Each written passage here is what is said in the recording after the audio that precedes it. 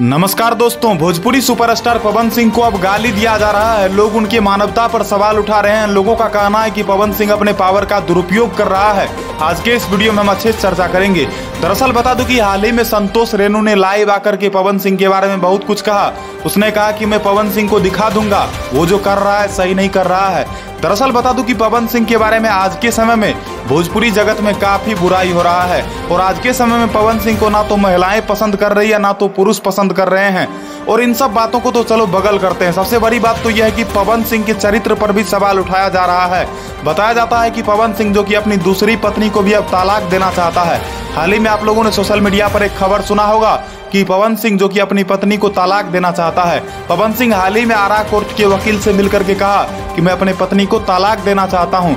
अब बताया जाता है कि पवन सिंह के इस खबर को सुनने के बाद जितने भी ऑडियंस हैं, वो काफ़ी दुखी हैं। और लोगों का ये भी कहना है कि पवन सिंह का ये करियर ज़्यादा दिनों तक चलने वाला नहीं है। हाल ही में संतोष रेणु ने कहा कि मैं जो पहले जेल गया था, कहीं न कहीं मुझे लगता है कि उसमें भी पवन सिंह का ही हाथ था।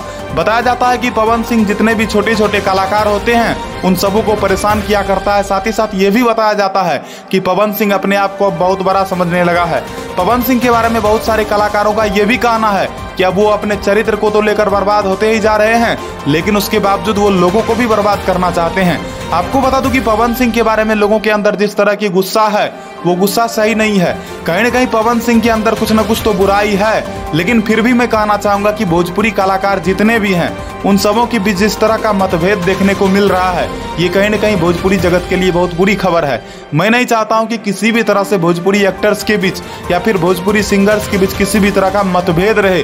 कहीं ना कहीं भोजपुरी जगत के जितने भी कलाकार हैं, उन लोगों को शांत होना चाहिए और जिस तरह से आपस में एक दूसरे को ट्रोल कर रहे हैं ये बिल्कुल बुरी खबर है भोजपुरी जगत के लिए।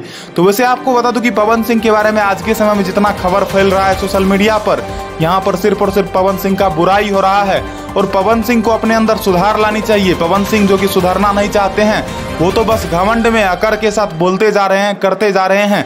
लेकिन फिर भी मैं पवन सिंह के लिए यही कहूँगा कि पवन सिंह को अगर अपना करियर बचाना है तो कहीं न कहीं उन्हें अपने मानवता को बाहर लाना होगा। कहीं न कहीं उन्हें अपने परिवार में ठीक होना होगा। आज के समय में लोग पवन सिंह का विरोध इसलिए कर रहे हैं, पवन सिंह को गाली इसलिए दे रहे हैं क्योंकि पवन सिंह के घर वाले भी अब उनका समर्थन नहीं कर रहे हैं।